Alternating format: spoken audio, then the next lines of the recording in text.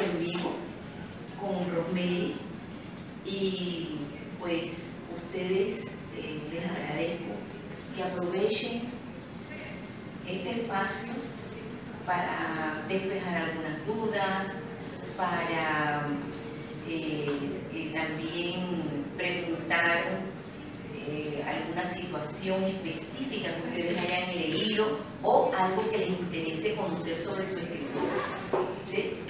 En la parte profesional, personal, que de repente tienen ustedes alguna curiosidad. Así que sin más preámbulos, lo dejo en compañía de Rosemary.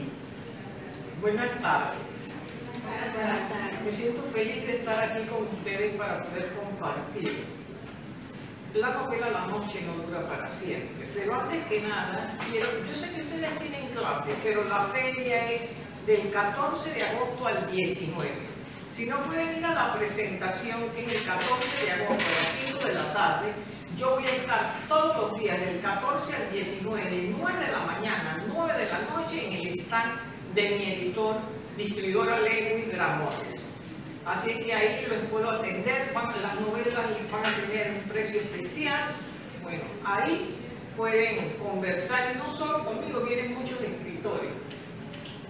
Yo le decía a la profesora de videoconferencia porque queda, ahí queda cierta constancia de las preguntas, ayuda también a los muchachos de secundaria cuando ven las preguntas más complicadas que hacen ustedes porque las preguntas de ellos son ¿qué le inspiró? ¿Cuándo le escribió? ¿Cuándo se demoró? Y ya ustedes hacen preguntas más profundas, ¿no? Entonces eso los orienta a ellos. Por eso es que yo quiero eh, hacer esta, es grabar hasta que el teléfono dure la memoria, porque yo inicialmente voy a decir cómo surge la novela y ustedes después hacen las preguntas. Yo estaba en la feria y una persona me dijo a mí que ella había ido a buscar el murmullo de la sombra porque ella tenía dos miedos que reflejaban la novela. Miedo a la soledad y el miedo a la muerte. Esa idea quedó rondando en mi cabeza. Conversando con una amiga, ella hizo la tesis doctoral sobre Roberto por el buen camino, ella me cuenta en el extranjero su hijo muere producto de la violencia, pelearon dos amigos y su, hijo muere. Entonces, yo recordé, uní las dos historias que una novela iniciada, yo escribo dos novelas a la vez, cuando una descansa, tomo la otra. Digo, yo no creo que yo la encuentre. Cuando voy a la caja de los civiles, saco un solo civil y estaba la novela. Lo que me llamó la atención es que yo no recordaba el título que yo le había puesto. La noche no dura para siempre. Por muy dura que sea la adversidad, Dios nos envía consuelo para recibir el sol de un nuevo día, la claridad. Que la noche oscura, la noche significa el sufrimiento.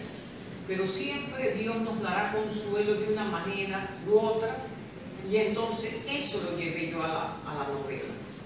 Entonces, eh, estoy a disposición de ustedes para las preguntas. Yo, como el señor pero me llama mucho la atención de que tenía un fan, por decirlo así, una persona que tenía un tiempo por ella. Porque hay personas que aman en silencio. Si, no tienen la certeza de que les van a corresponder muchas veces callan el amor. Acuérdate que ella estaba casada, entonces pensó que ella era feliz.